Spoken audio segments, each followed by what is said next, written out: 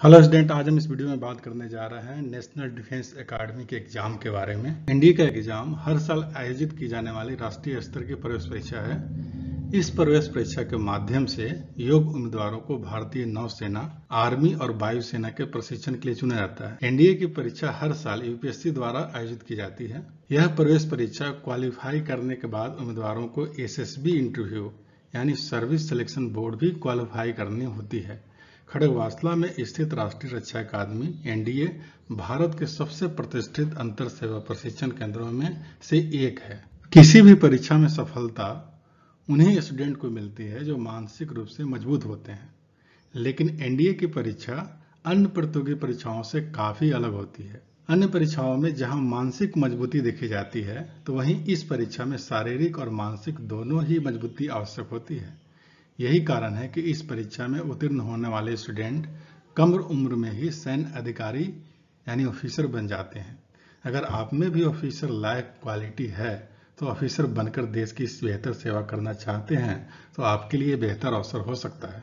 NDA की परीक्षा के लिए केवल वही अविवाहित पुरुष अभ्यर्थी आवेदन कर सकते हैं जिनकी उम्र 16 से 19 के बीच हो। सेना के तीनों अंगों के लिए पूर्णतः स्वस्थ कैंडिडेट की लंबाई कम से कम 157.5 सेंटीमीटर और एयर फोर्स के लिए 162.3 सेंटीमीटर। और इसी के अनुपात में वज़न भी होना चाहिए। इसके अलावा एयरफोर्स एवं नेवी के लिए फिजिक्स और मैथमेटिक्स विषयों के साथ बारहवीं की परीक्षा उत्तीर्ण होनी चाहिए। हालाँकि आर्मी विंग के लिए किसी भी स्ट्रीम से बारहवीं पास युवा आवेदन कर सकते हैं। कोई भी विषय से जो पास होगा वो आवेदन कर सकता है। जो युवा बारहवीं के परीक्षा में शामिल हो रहे हैं, वो वो भी इस प्रतियोगिता परीक्षा के लिए आवेदन कर सकते हैं। यद्यपि उन्हें एसएसबी इंटरव्यू के समय बारहवीं की परीक्षा पास होने का प्रमाण पत्र देना होगा। एनडीए की परीक्षा में दो विषय, जिसका कुल अंक 900 अंकों का परीक्षा होता है।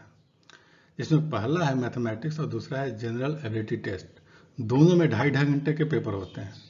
मैथमेटिक्स का पेपर 300 और जनरल एबिलिटी का पेपर 600 अंकों का होगा। सभी प्रश्न ऑब्जेक्टिव यानी वस्तुनिष्ठ टाइप के होंगे और गलत उत्तरों के लिए भी अंक काटे जाएँगे। इसलिए इसकी तैयारी प्लानिंग के साथ करनी पड़ेगी।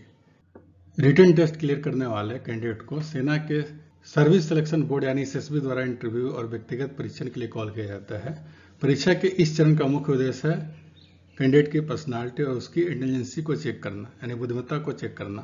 सेना में एक ऑफिसर के रूप में उसके ऑफिसर लायक क्वालिटी है या नहीं है, इसकी जांचना और परखना होता है। एसएसबी के कई सेंटर देश के शहरों में स्थित है।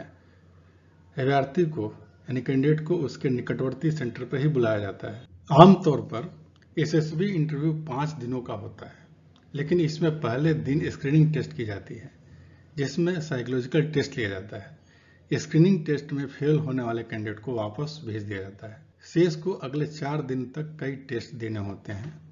इस दौरान उनका ग्रुप डिस्कशन यानी GD, psychological test, interview board तथा ग्रुप टास्क ऑफिसर द्वारा अलग अलग तरीकों से आकलन किया जाता है और उनकी आईक्यू को चेक किया जाता है, जांचा परखा जाता है।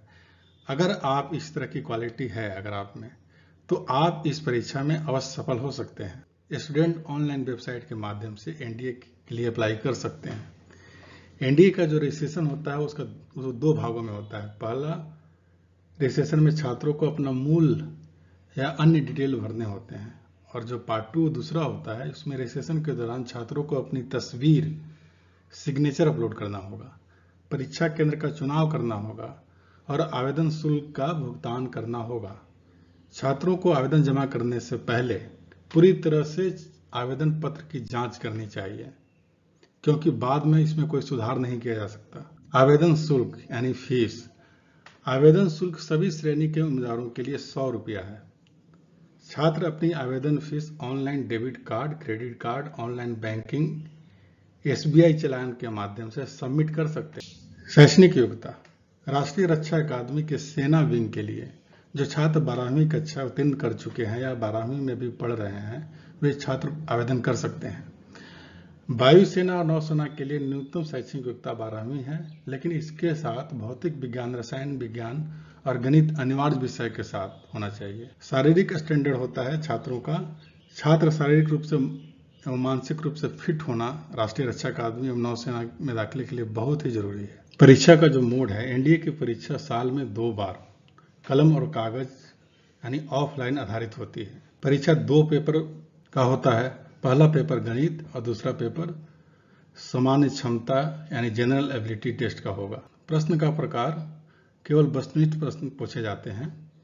जो परीक्षा की अवधि होती है, वो दो घंटे, तीस मिनट की होती है। यानी टोटल पाँच घंटे का पेपर होता है। प्रश्न पत्र हिंदी और अंग्रेज़ी दोनों भाषाओं में होती है। प्रश्न को सौंपे गए अंकों का 33 प्रतिशत प्रत्येक गलत उत्तर के लिए काट दिया जाता है।